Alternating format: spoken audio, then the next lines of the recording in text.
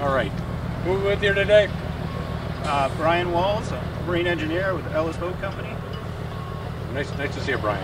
What do we got here behind us? What's this boat? This is our Ellis 28. We built this as a center console um, for a family that likes to go fishing down around uh, Martha's Vineyard. It's got a Yanmar 250 uh, horsepower four cylinder in it. The Yanmar 4LV 250. Yep. Yep. And uh, she cruises really comfortably from 12 to um, up to 20 knots, top speed of 23 knots. Good. Well, we certainly appreciate you guys using the Yanmar, and uh, it should be a great boat for them. Yeah, I think so. It's a really great boat, and uh, Beautiful. Yeah. had some good success with the Yanmar. And Good. Thanks so much.